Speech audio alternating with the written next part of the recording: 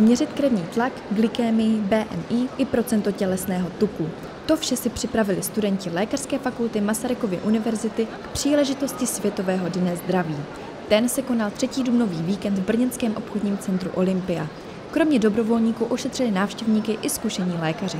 Právě ti lidem nově vyšetřili i znamenka. S nimi děláme takto osvětu o zdravom životnom štýle, o prevencii voči diabetu, voči aktuálnym metabolickým ochoreniam, dyslipidémie a všetko podobné, tak snažíme sa, snažíme sa ďalať tú osvetu, aby sme ľudí, aby sme sa vyvarovali tým rizikám, ktoré, ktoré vedú všetkým ochoreniam. Stanovište, ktoré sa volá Nemocnice pro medvídky a je venované hlavne tým najmenším deťom v tom hlavne predškolskom veku, pretože pra, hlavne u týchto detí sa stretávame najviac s tým, že sa možno boja tých doktorov a preto to naše stanovište je zamerané na to, aby sme im nejako ukázali, že doktorov sa netreba báť. Na akci pořádané Mezinárodním spolkem studentů medicíny nechyběly ani základy první pomoci, pohlavního zdraví, správná technika mytí rukou či samovyšetření prsu a varlat.